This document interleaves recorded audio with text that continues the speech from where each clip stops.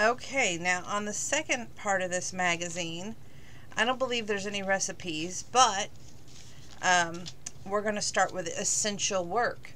A former field hand manages vegetable farms across California's Monterey County. The photos are by Vern Fisher Photography. It's the Ag Dairy. Ryan Kelly walks a newly planted field of fennel at the Bonnet Farms field in Castroville, California. And I wish I could show you these pictures. Um, this is by Ryan Kelly from Castroville, California. The products he usually does is artichokes, broccolis, Brussels sprouts, cauliflower, celery, cabbage, fennel, lettuce, and spinach. So that's probably where most of my lettuce comes from. Farm Organization, Farm Bureau, Grower Shipper Association of Central California, California Artichoke Research Board 4-H, FFA, and others. My name is Ryan Kelly. I'm a Vice President and General Manager of the Bernardet and Laguna Mist Farms, vegetable operations in the Salinas Valley and Oxnard area. Born in Salinas in 1981, started working on a mushroom ranch night when I was 13. As soon as I could get a work permit for the general labor, um, I was driving tractors and forklifts, forklifts and making compost for the mushroom operation. I became a part-time grower at the Mushroom Farms Incorporated in Las Lomas when I was 19. Worked that job attending Cabrillo College at 21, transferred to Cal Poly, and earned my ag business degree. That's also where he met his wife, Stephanie. Aww. 25, I became a grower liaison for Laguna Mist Farms. Stephanie took a job as a staff and office manager for Fresh Express, where she stayed until she was six months pregnant with their first child, Nessa. The second daughter, Kaylee, was born 19 months later, and he was promoted to grower manager running all growing operations for companies sourced to grow for Ocean Mist Farms in Salinas Valley, Ventura regions in 2012. Started working with other operations in Mexico as well. Then Stephanie and I had a son. He passed away at two months old from SIDS. Oh, that's sad which was a huge shock and sadness to our whole family. We all came together, made it through, and in 2013 we had our third daughter, Elisa Luna. She'd been the glue that holds all of us together through difficult times. Rain and regulations. March 1st, after two months of dry, windy conditions, the day started off with very light rain. We don't get significant rainfall this month. We'll be right back in the drought conditions and running the water pumps 10 plus hours a day. March 2nd, woke up to extreme cold, wet, widespread frost. The frost was blister on the artichokes from late January. Had just started to clean up, and now we're having a blistering for another three or four weeks. It's tough to market frost-kissed artichokes because they aren't as pretty. The outer layer turns brown and flakes and peels. It's a shame more people don't know what the frost actually cold cooks artichokes and breaks down the hard epidermal la layer, making it more flavorful and easier to cook. March 3rd. Our workforce is the backbone of our business and determines our quality of product we put out, so we try to keep them happy within given constraints. But California's new agricultural worker hour regulations for 2020 have put a real strain on our productivity hours and the relationship with the workforce. Even though wages have increased over the past few years, to keep up with increases in the minimum wage, we've had to cut hours to stay under reduced pre overtime work week for our labor force. As a result, what should have been a raise for them has kept their take home pay at the same level in the past years, and in some cases lower. We continue to struggle to find balance for them and to modernize and mechanic- mechanicize where we can keep costs competitive. On March 4th, getting a break to decompress is an absolute necessity in the high pressure environment of vegetable farming. So yesterday I took in a hockey game. It was nice to watch the hometown team with the San Jose Sharks get a win. March 5th, the California Department of Food and Agriculture wants to audit one of our companies for the new standard of food and safety systems. It's called the Produce Safety Rule. It audited my other company last fall, and then the process went so smoothly, but we had, excuse me, really had to have our house in order when the auditors got there. The importance of rain to agriculture in our valley cannot be overstated. March 6, we began implementing some new methods of establishing transplants like new process. It wasn't without hiccups. I just spent some time explaining to our foreman that the GPS systems our precision planters have to follow behind each tractor pass exactly or the plants will not line up properly. If this happens, the field will not irrigate uniformly, causing inconsistencies in size and maturity. These practices are aimed at reducing labor, but the workforce really has to know what they're doing for it to work properly. March 7th, an ominous forecast is predicted 1.5 to 2 inches of rain next week, so tomorrow I'll round up the troops and go over all the planning and preparation work that needs to be done ahead of time. Seawater and drought. On March 8th, light rain fell overnight, but because everything has been so dry lately, it didn't stop or slow down any work. Any and an irrigation planting crew worked today, which was Sunday, despite the added cost of labor to make sure that the critical lots in the difficult areas got planted before the impending rain. I got some much needed family time today shopping at Costco. The store was crazy with people buying up household supplies, sanitizer, and they ran out of toilet paper, paper towels. The coronavirus has caused a kind of public hysteria that I've never seen before. March 9th. It's looking like we may end up with a dry March, setting drought conditions for 2020 growing season. That translates to more pump and irrigator hours and a higher cost product. The gamble of bringing in labor for the extra hours last weekend doesn't look like it's going to pay off. I met a local tractor dealer group to provide insights into our struggle and how they relate to our needs and purchase preferences. Green is still gold in this business, but they're expensive. There's a lot of lower cost competition out there, and they are hungry. We ran we run John Deere, New Holland, Case, Caterpillar equipment our fleet is diverse to accommodate the variability in the type of ground and operation that is performed. March 10th. We do almost all of our spring heavy tractor tillage work before the first official day of spring. Drivers will get fewer hours for the next few months, but we'll have to find them enough work so they don't go looking for it elsewhere. The bright spot of my day was taking the kids to the 4 H meeting. Community involvement is very important for our youth and the future of our nation. My girls are involved in shooting sports, swine projects, and community service. And March 11th, the Castroville Seawater Instru- Intrusion Project, better known as CSIP, hosted a meeting this morning with local farmers who use recycled water from the project. This 25 year old program was created to combat seawater intrusion from the Monterey Bay into the local aquifers.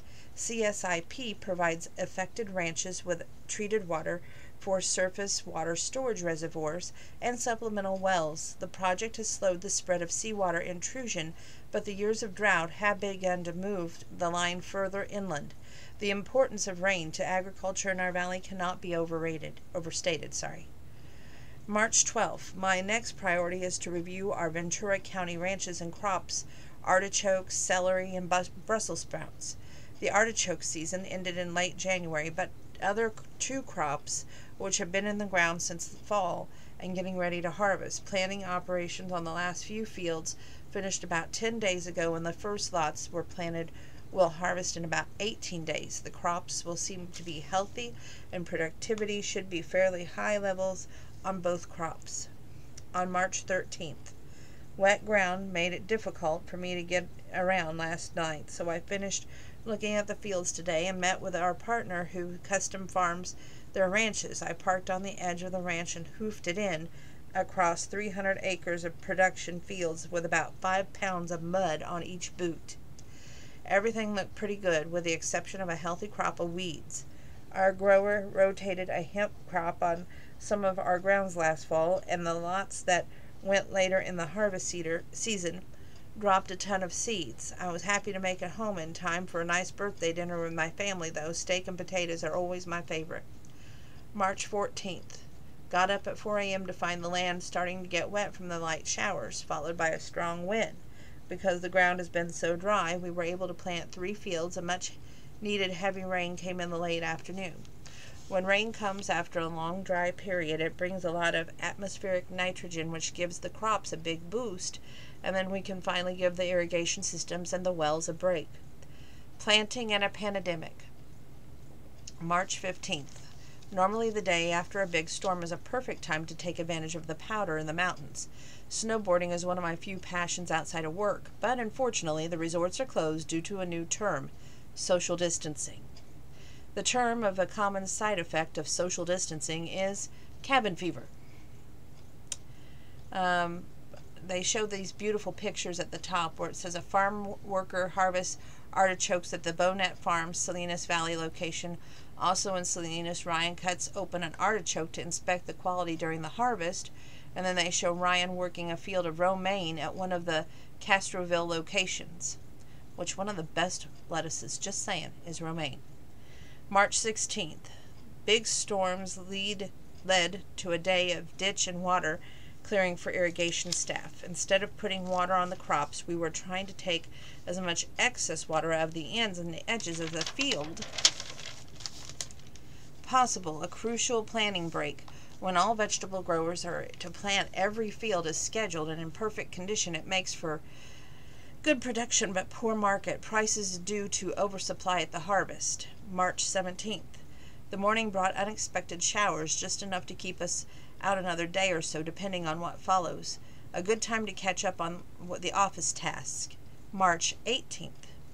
We'll be back doing light tractor work tomorrow and getting things ready to plant as long as the sun and the afternoon winds hold and there are no more showers. Being out there for more than four or five days at a time of a year is tough.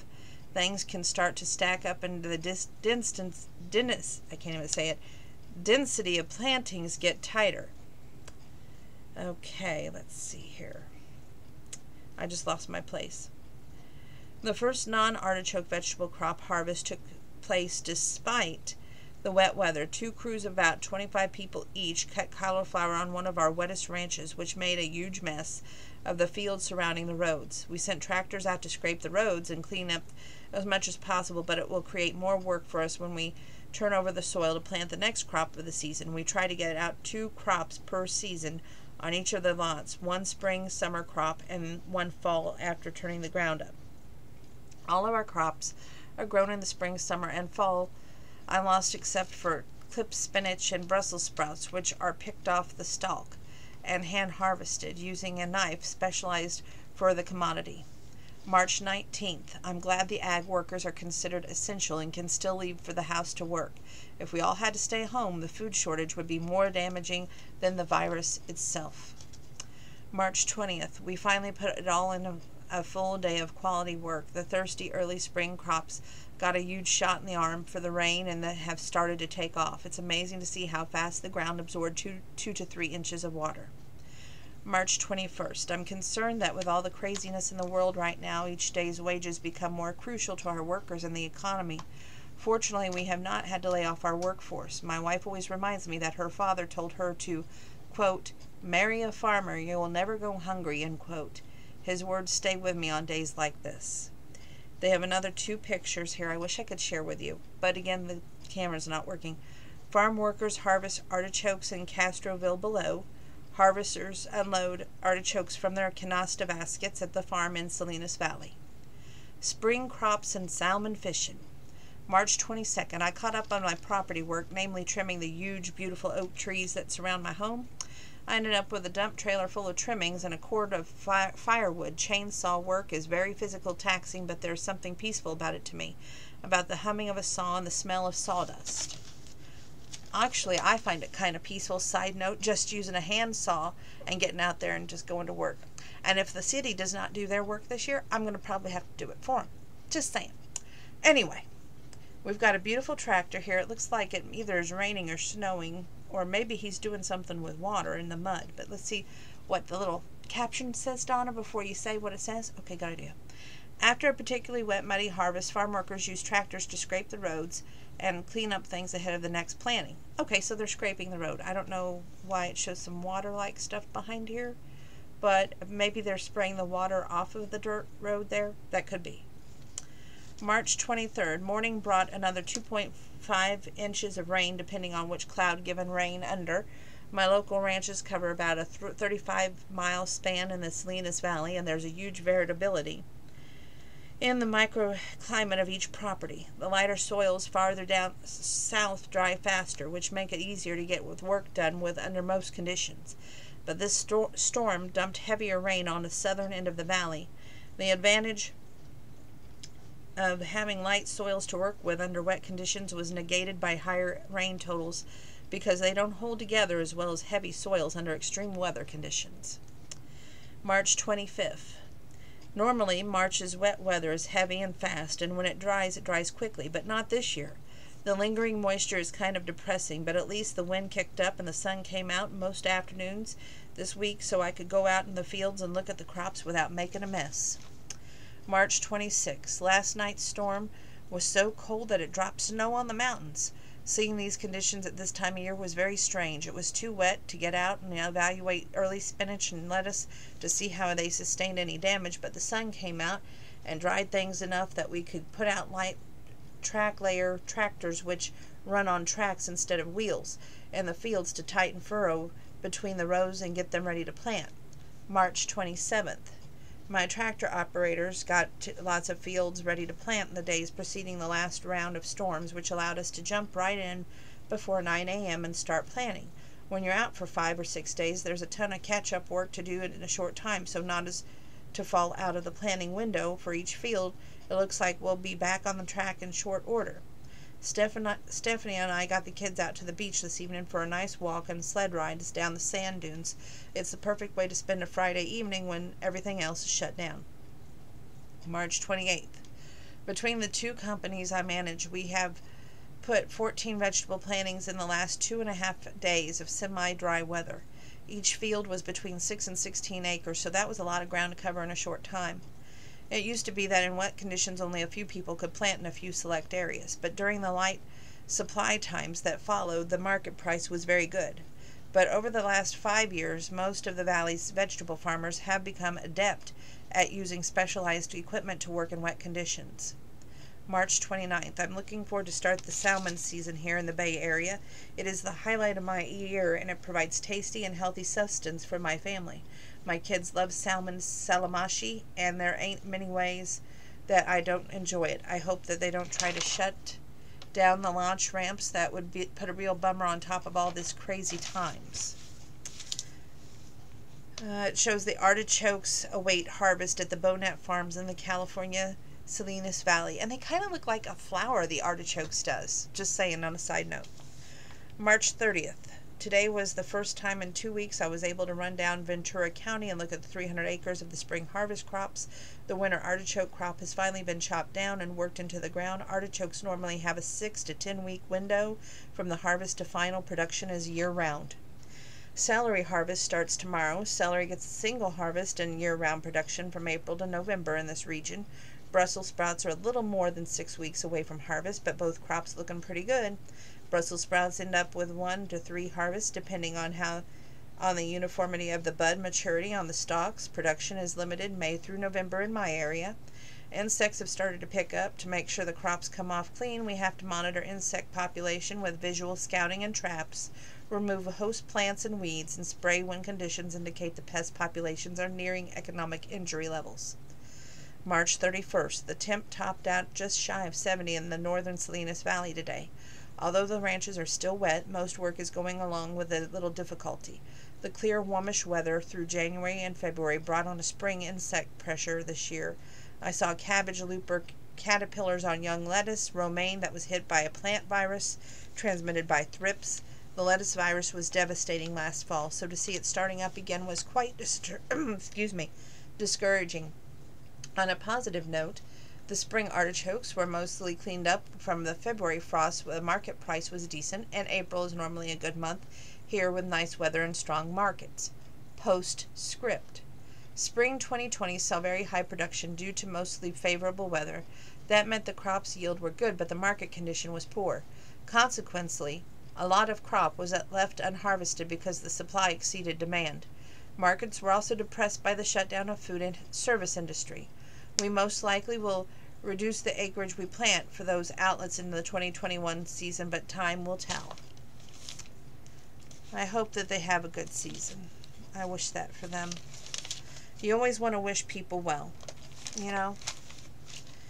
they have this really beautiful and quite the picture speaks so much volumes they have this cow that looks like it's peeking in on this little girl who's playing with her cows inside like a barn area it says people and pals and this was the winter photo it says a herd of her own having animals as friends is rewarding and teaches us so much about life I love doing farm chores with my dad. I'm blessed to be able to have raise my kids the same way.